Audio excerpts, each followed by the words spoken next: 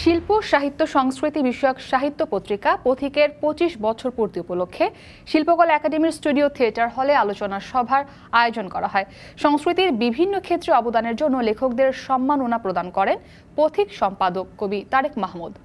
আর কোনো সংগঠন কি কখনো ভেবেছে?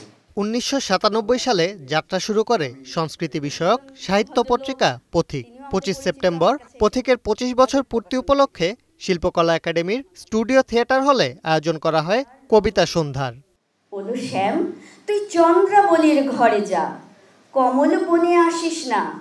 বাসনার বাসা ভেঙে ভুজঙ্গিরে সাজিস না। পথিকের পঁচিশ বছর পূর্তি উপলক্ষে লেখকের পেশাগত উন্নয়ন ভাবনা শীর্ষক আলোচনা সভা হয়।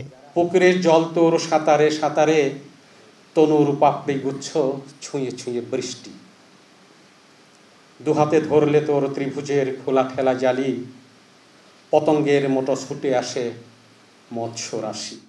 এ অনুষ্ঠানে কবিতা আবৃত্তি করে শোনান অনেকে। সংস্কৃতির বিভিন্ন ক্ষেত্রে অবদান রাখার জন্য প্রদান করা হয় সম্মাননা। প্রথম দিকেই আমাদের আগ্রহ ছিল যে নতুন লেখকদেরকে একটা প্ল্যাটফর্ম তৈরি করে দেওয়ার বিষয়ে। সেই লক্ষ্যে আমরা কাজ করেছি।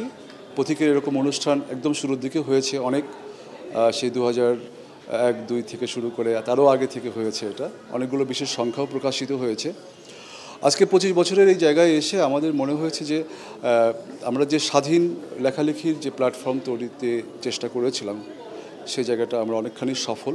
বা আমি যারা ছিলেন সবাই এর ওপরে নয় তাদের অনুষ্ঠানে প্রধান অতিথি হিসেবে ছিলেন বিশিষ্ট সাংস্কৃতিক ব্যক্তিত্ব মহামিদ বিশেষ অতিথি হিসেবে ছিলেন কবি দিলদার হোসেন ও কবি শান্তামারিয়া সভাপতি হিসেবে ছিলেন বিশিষ্ট কবি বিমল গুহ।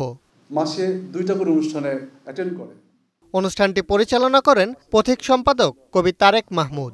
এবারে আমাদের সম্মাননার আয়োজনটা করি